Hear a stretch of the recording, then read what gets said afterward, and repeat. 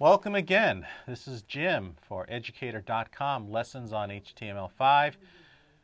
If you are coming from the previous lesson, which is about audio, well, we're going to discuss video, the newest wave of wonderful technology that's invading the internet today. It's all about the video, and if you're on Facebook or MySpace or CNN or ABC.com, everything is about video.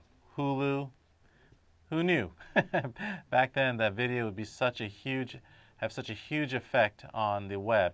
So let's go ahead and dive right in and see how we can join the fun. First, we're going to talk about the different video formats, and then we're going to talk about the elements and attributes associated with the video. And then we will have an actual live demo of a video. Again, HTML5, the programmers or the inventors did a really nice job uh, you know, creating these tags makes it really nice and easy for us to utilize this without having to upload to YouTube and then cutting and pasting the embed codes and things like that.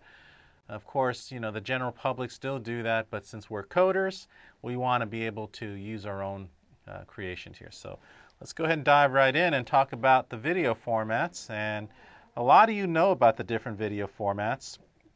For one, we have uh, well, MP4s, and then we've got QuickTime and AVI, and then, of course, OGG. We talked about that before.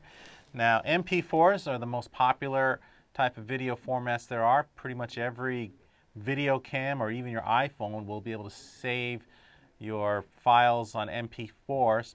Just about every video editor from Final Cut Pro to Adobe After Effects or Adobe Premiere, whatever you want to use, pretty much can handle MP4. So that's the most popular one. QuickTime for Mac users and pretty much uh, can be used anywhere on any platform, Windows or Apple.